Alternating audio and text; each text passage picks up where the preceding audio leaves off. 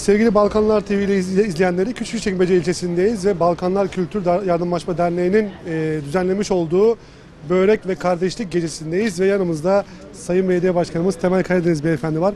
Efendim e, güzel bir birlik gecesi, güzel bir akşam Balkan Kültür Derneği'nin düzenlemiş olduğu. Biz Balkanlara sizlerin vesilesiyle gittik Ba- Balkan Derneğimizle beraber. Bu akşam da buradayız.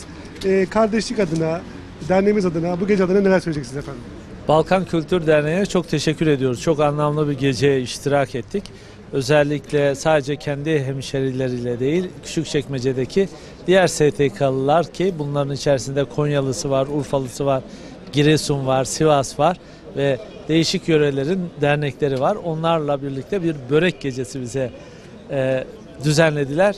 Aslında börekten daha lezzetli olan kardeşlikli, dostluktu.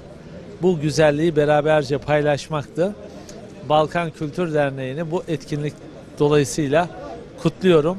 Onlarla gurur duyuyoruz. İlçemize e, çok önemli katkıları var. Işık saçıyorlar. İnşallah bu güzelliği e, bütün Türkiye olarak, bütün Küçükçekmece olarak daha da geliştirerek hep birlikte yaşarız inşallah. En efendim. çok hangi böreği beğendik Sayın Başkanım? Vallahi, Ee, ıspanaklı mı, peynirli mi, kıymalı Valla, mı?